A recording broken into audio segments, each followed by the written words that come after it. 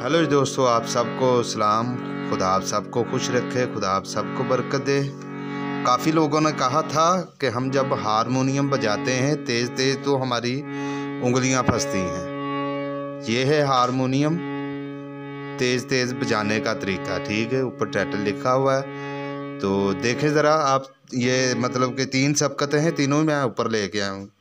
एक, दो, तीन।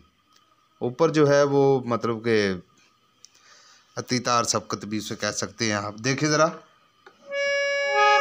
सानी दा प मा गा रे सा, सानी दा प मा गा रे सा, सानी दा प मा गा रे सा। ठीक है? कोई भी आप इस तरह मतलब बजा सकते हैं।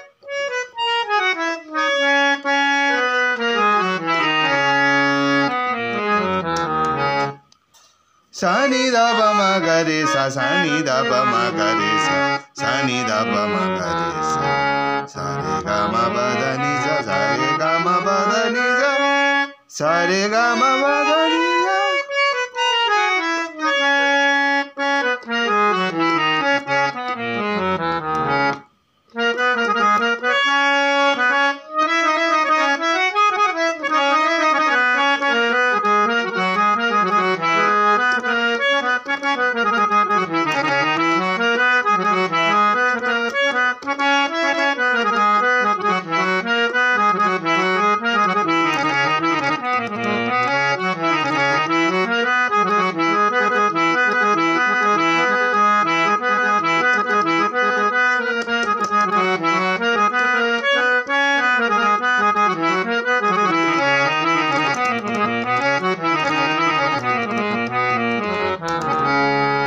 ये टेक्निक जो है, मैं आपको बता रहा हूँ, ये आप पहले ऐसे सीधा सीधा लेके आएँ, फिर आप ऐसे जाएँ, फिर आप बाद में ये जो मैं जिस तरह कर रहा हूँ, आप फिर अपनाएँ उस तरीके को, ठीक है? आपके लिए वो बेहतर रहेगा। मेरी तो कोशिश है कि आप सब अच्छे तरीके से सीखें हारमोनियम को और आगे बढ़ें और आगे चलते रहें और खुदा के नाम को जलाल देते रहें, ठीक है?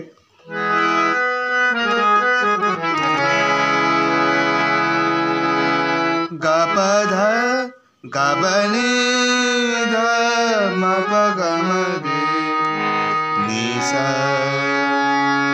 देखिए जरा ग ध, म प ग